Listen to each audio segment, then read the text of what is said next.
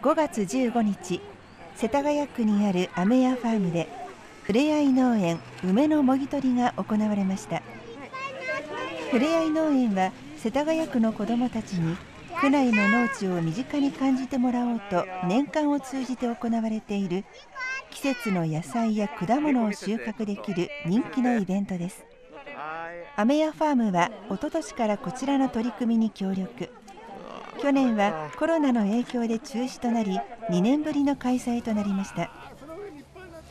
前回が5組だったという梅のもぎ取りですが今回は40組以上の親子連れなどが参加しました。梅はポピュラーな南高梅と白加賀梅の2種類を中心に収穫されました。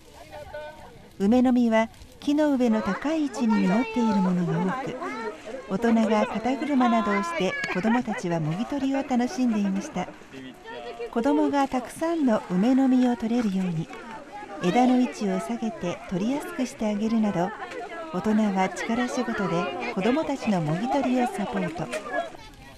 参加者は袋にたくさんの梅の実を詰め込み大満足の様子でした。取れたよ。どんぐらい、開けて。いっい。っぱい取れたね。ぱいいっぱい取れた子供もとても毎日楽しみにしていました。当日もすごく楽しめました。梅はかき氷の梅シロップと梅酒に使う予定です。地元であのこういう体験ができるのを知らなかったので体験してみたいなと思い来ました。こういう体験であの外出れたのは嬉しいなと思います。梅シロップにしたいなと思ってます。初めてなんでうまくできるかわからないんですけど、